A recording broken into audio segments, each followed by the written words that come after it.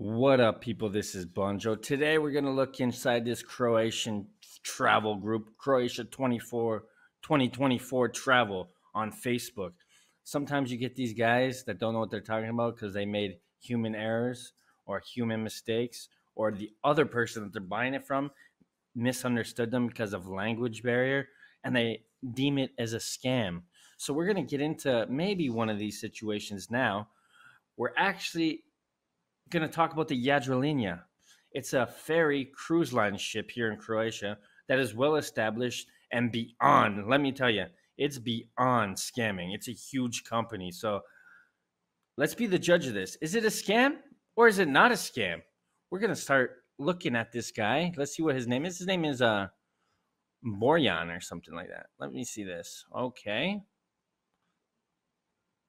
So he says, when boarding the Jadrolinija from Split to Supetar, Supetar, I only gave one only give one ticket. We as tourists and attendant board tickets to see which ones we have to present and took both.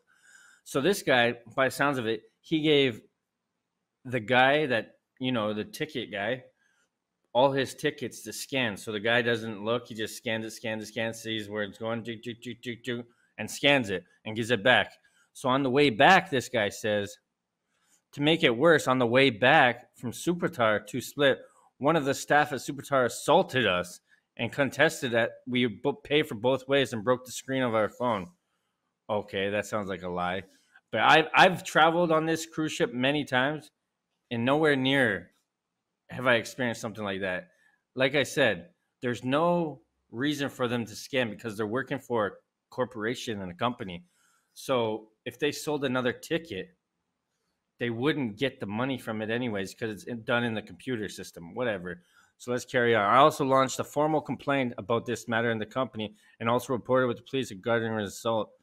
Um, this is pure mafia. So this guy, Bjorn, sounds like a little soft guy. And um, let's get into it. So I said LML because I, I just read the first caption. So I said, this guy just ordered the same ticket twice instead of a return ticket. So that's what I thought. But then he showed me this picture, which is right here. It's a return ticket. So 39 euros to go there and then 39 euros to go back, which is right. And then this one's a replacement ticket. And so he gave him both of these to scan.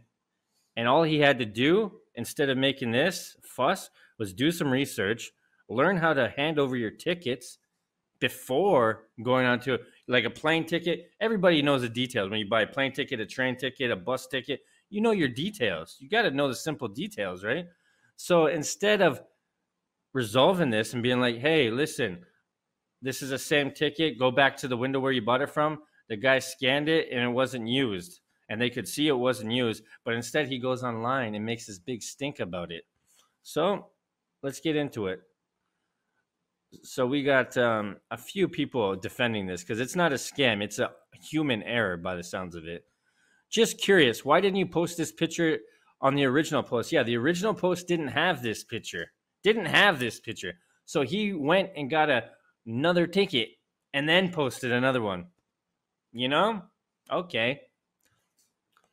I, it sounds like a lie. Sounds like this guy's fibbing us here. Because it's a lie, I answered, and someone uh, replied with a laugh emoji. And um, I've booked with this company, like I said, tons of times and never had a problem. And Martina says, as I said earlier, I think it's just a mistake of them taking both from you because they weren't listening, rather than it being a some elaborate scam. But now that I see that one clearly marked split Supetar, the other is marked Supetar split, I'm not sure why you would hand over both tickets exactly. 40 euros learning experience and a mistake for both. Exactly. Just do your basic common research, people, before traveling. You got to know this. Like this guy, Bjorn, then he's like, what is the lie exactly? The lie is this, Bjorn. The lie is this.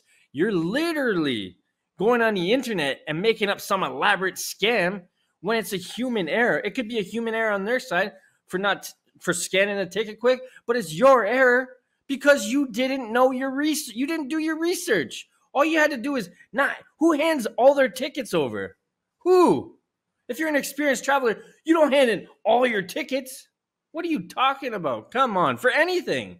For anything. Jeez.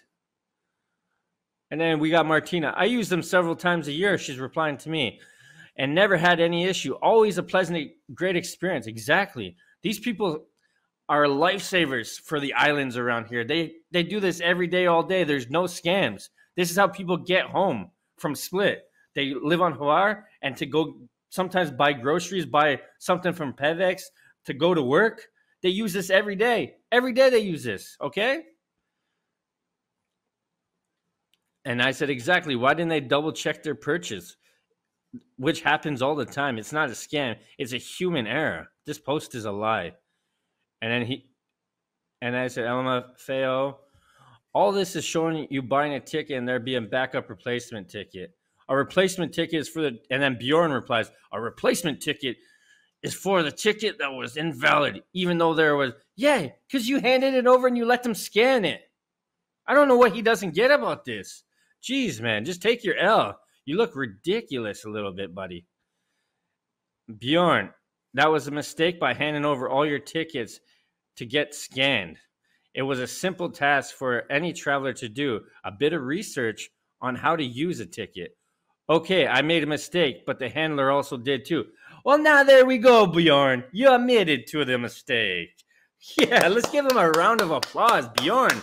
Finally. So now he knows he made a mistake, but he still has this post in Travel Croatia 2024 Facebook group, which is public, and he has a picture of the man that he said assaulted him, which was also a lie because this guy is getting caught in his own lies. So the guy that's complaining about the goddamn scam is the goddamn scammer himself. Bjorn, you just played yourself. You got the donkey of the day, I swear, boy. What's wrong with you? Man, is this your first time traveling? Serious question. Damn, you can't just call everything a scam because you don't know what you're doing. You didn't take time into your research. You did this to yourself, my boy. Jeez. And we okay, I'm not the only one that was that was uh, going against this guy. Almost everybody. First time I hear something like this, traveling with Jadrolinija for 25 years. The photo, what is the photo showing exactly? Two tickets bought for the same direction. Yeah, exactly. The original post was two tickets going in the same direction. So when he made the post, he still didn't know what he was talking about. So now, okay, I made a mistake, but the handler also did. So he made a mistake, right? Isn't that what he's saying? Jeez. Man, I hate sometimes people. I'm sorry you had a bad experience, but mistakes at, in the register can happen to anyone. So that should be a big deal. To, so it shouldn't be a big deal to or make a drama. Of course, the behavior is bad, but um, let's see what somebody else just responded. And then me and this guy were talking. Okay, so Siran was like this. What was Siran doing? Okay, Sir, Sirian or whatever his name is. Uh, want to share his experience about a scam. Let's see if this guy is a liar too. Buddy at the airport in Zadar tried to charge me 70 euros for a 10 minute cab ride, which only showed up to be 17. So he went from 70 to 50 to 35 to 25. He said, nope, he's just waiting for his uh, Uber or his cab for 17 euros, which is okay.